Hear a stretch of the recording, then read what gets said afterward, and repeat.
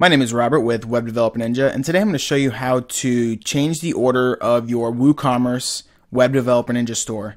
So the product order that we're going to be changing is so right now uh, these this product goes 100 grain, 125 grain, 150 grain, and uh, we did that on purpose. But what we're going to do is we're just going to move the order around kind of arbitrarily, just to show you how to make that work. So come back to the dashboard and click products.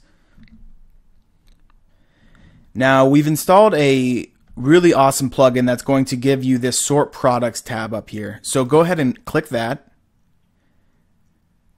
And now you have the ability to drag and drop where you want the order of products to be. So say for instance you want this product all the way down here.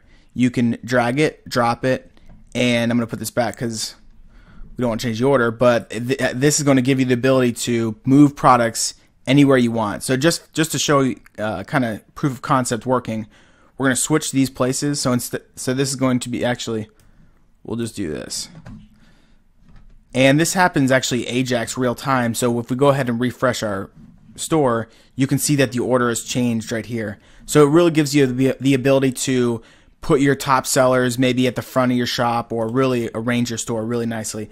So um, I really encourage you to take a look at that. If you have any more questions, email us at help at webdeveloperninja.com. Thank you.